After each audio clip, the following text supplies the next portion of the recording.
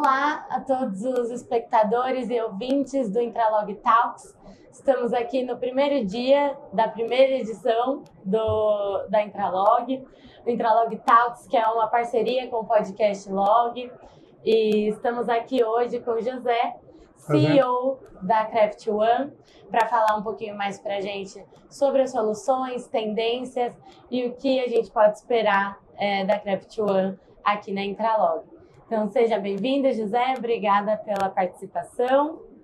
E fique à vontade para se apresentar. Ok. Muito obrigado, obrigado eu pelo convite. É um prazer estar aqui convosco e estar aqui na Interlog. Eh, desde o início, quando foi lançado a ideia, acho que fomos um dos primeiros a, a querer estar presentes. E, pronto, estamos aqui com, com o nosso time, com a nossa equipe, para mostrar as nossas soluções. Que legal. Então, é, eu quero saber como você começou na logística, um pouco da sua trajetória, o que você quiser compartilhar. Tá bom, então vamos ver. Uh, eu sou português, não? É? eu comecei a trabalhar na área da logística, intralogística e aeroportos uh, em 96, 1996, uh, em Portugal, na, naquele momento. Eu trabalhava na, numa empresa bastante conhecida, Siemens, uh, onde trabalhei durante vários anos. Em 2011 uh, ah, fui convidado para, para uma empresa da concorrência para vir para o Brasil. Foi a minha primeira, uh, o meu primeiro contacto com o mercado da, da América do Sul. Uhum. E, e em 2016 eu decidi criar a Craft One. Uhum. A Craft One, quando foi criada, uh, dedicava-se unicamente a equipamentos de segurança. Uhum. Nós somos representantes de, de, uma marca italiana chamada Cheia, que tem os portais detectores de metais e tem raquetes detectores de metais, que é utilizada em logística e, e nos aeroportos. E começámos a partir de 2020, foi quando a empresa começou efetivamente a, a, a trabalhar mais ativamente, foi quando eu comecei a dedicar-me 100% à, à empresa. Eu antes tinha a empresa, mas não, não me estava a dedicar 100% a ela, dedicava só à parte de segurança. Uh, quando veio a, a pandemia, uh, eu dediquei-me, começámos a fazer consultoria, inicialmente a fazer mais na área de consultoria, trabalhar muito na área de aeroportos, onde temos um, uma posição forte no, no mercado e trabalhar a desenvolver a área da logística, sempre buscando soluções inovadoras uh, e que com um foco muito grande no cliente e na, na redução de custos. Uh, o, o, nosso background foi muito na área de service, na área de otimização de processos. Então buscamos sempre soluções integradas que visem sempre a redução de custos, a otimização dos processos. nós, neste momento, estamos presentes, temos a sede em São Paulo, temos uma delegação em, em Campinas, temos uma delegação em Salvador e estamos também presentes na Colômbia, em Portugal, em Lisboa, em Barcelona e há duas semanas abrimos uma delegação em Angola, em Luanda. Olha, então, então é bem espalhado estamos, mesmo. Estamos bem espalhados, eh, estamos expandindo muito, trabalhamos muito a área da logística, intralogística e, e aeroportos. Uhum. Uh, o nosso principal ponto de foco, como eu tinha referido, é toda a área de service. Estamos neste momento com o um contrato de operação e manutenção no aeroporto de Viracopos. Estamos a fazer manutenções de equipamentos de raio-x uh, no aeroporto de Salvador. E depois trabalhamos na área da logística, trabalhamos com empresas como a Flash, o Move3, a DHL, a FedEx, a, o próprio Mercado Livre. Então temos um leque muito grande, Catwayne também é nosso cliente. Uhum. Então trabalhamos muito, um, tentamos ser o mais abrangentes possíveis a nível, da, a, a, a nível das soluções que apresentamos aos nossos clientes. Muito legal. E é, com tantas inovações, soluções tão legais, é, qual é o impacto que tem uma feira como a Intralog, uma feira mais nichada para a intralogística, é, para vocês? O que vocês esperam dessa feira? É, esta feira eu acho que é muito importante porque é um, eu acredito que vai ser uma referência a nível uh, da América da América do Sul, da América Latina, na área da, da logística e intralogística. E nós aqui viemos apresentar uh, soluções de inteligência artificial. Uhum. Uh, então temos uma parceria com, com outra empresa que apresentamos e que temos soluções de inteligência artificial para o, toda a área da logística. Fazer detecção de, de fluxos, análise de riscos, uh, análise de processos, tudo isso com utilização de câmaras de CCTV, podem ser novas ou podem ser uh, do cliente, e nós, com base na, nas imagens, fazemos todo o processamento e toda a análise de forma a dar as informações aos clientes. Para além disso, temos também, uh, estamos a apresentar uma solução desenvolvida por nós para manutenção preditiva. Uh, é um software que designamos como Arandu. Arandu é, um, é, um, é, um, é uma palavra uh, da Amazónia, da, da, dos índios da Amazónia, que de alguma forma quer dizer uh, conhecer o futuro.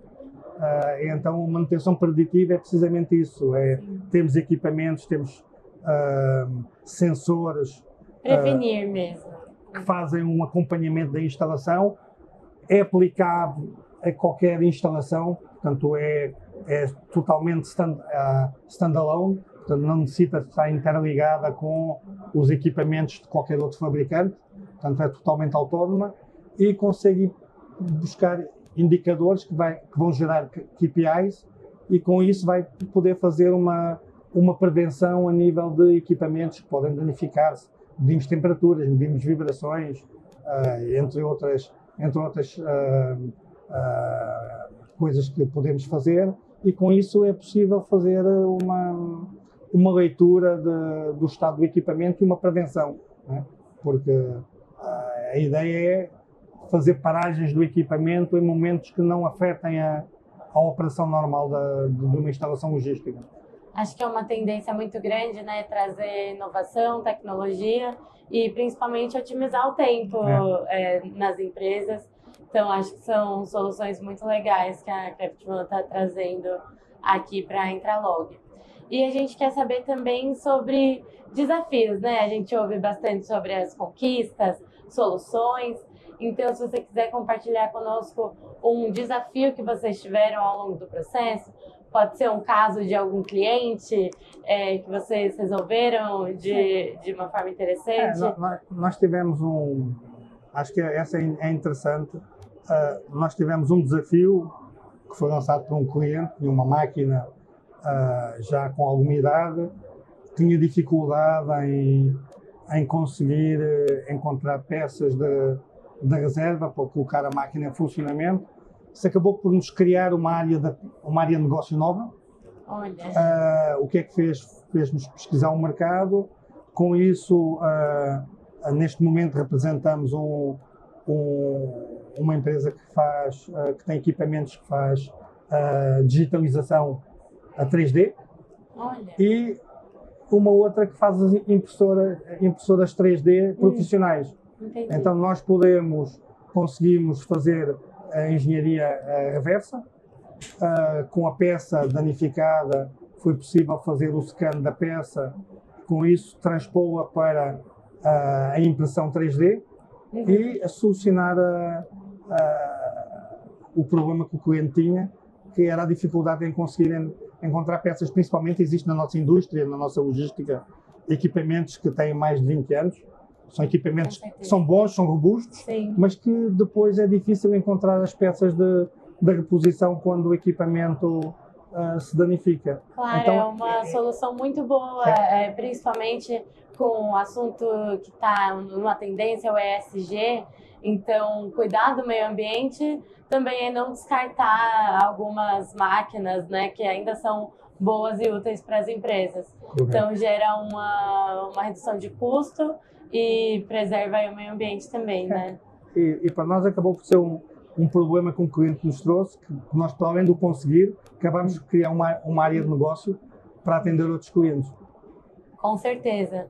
É, tem mais casos assim? É super legal a gente ouvir das ferramentas e de quais são as outras soluções que a Craft One Não, o, pode trazer. Algo semelhante a isso foi o, o software que acabámos por desenvolver para a manutenção preditiva, uhum. precisamente porque tínhamos situações em que os clientes uh, tinham instalações, às vezes instalações mais pequenas, espalhadas pelo país, e que não é possível ter uh, uma equipe de manutenção especializada em cada, em cada, em cada centro de distribuição ou em cada local. Não é? Então, com a nossa solução é possível recolher, recolher os dados uh, centralmente, portanto, centralmente é possível ter uma visão global do estado de, das instalações.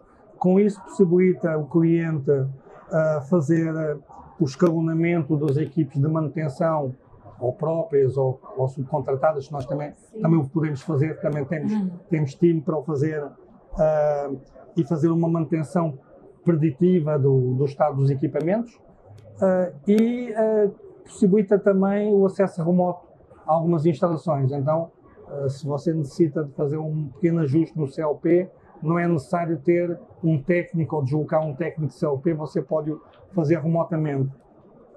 Com esses dados que são recolhidos, é também possível fazer um pequeno sistema supervisório, um SCADA, que dá uma visão global de, toda, de todas as instalações. Então, este foi também mais um desafio.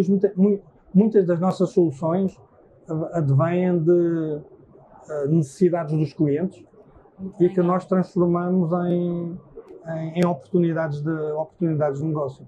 Sim, produtos que podem ajudar outros clientes que têm também uh, as mesmas dificuldades. Dificuldades, né? correto. Com certeza, muito bom.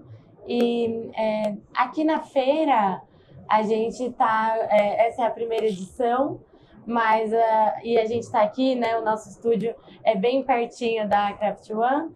E convide as pessoas a conhecerem os estudos, acho que vai ser uma oportunidade de negócio muito legal também. Com certeza, iremos fazer isso. É, é, se quiser fazer o convite, a câmera é aquela onde os nossos espectadores estão nos assistindo. Fique à vontade. Estamos, uh, estamos aqui, na, uh, aqui ao pé do Lounge VIP, né? É Isso, Lounge VIP. Lounge VIP, portanto, uh, podem passar pelo nosso stand. Estamos com, com toda a nossa equipa aqui pronta para os receber. É um prazer poder falar convosco e, e mostrar todas as nossas soluções. Muito legal. Muito obrigada, Obrigado, José. É, se você tiver mais algum recado, é, um agradecimento à equipe que está aqui também, é, um recado aí de conquistas, objetivos, próximos negócios. Oh, fundamentalmente, é, o agradecimento é para toda a equipa, não só esta que aqui está, mas toda a equipa que está, quer em Campinas, quer em São Paulo, quer em Salvador, uh, que nos possibilita estar depois nas feiras e estar com tranquilidade, porque sabemos que eles são capazes de resolver os desafios que têm no dia a dia uh, nas, nas suas instalações, onde estão uh, no dia a dia a dialogar com os clientes e resolver os problemas.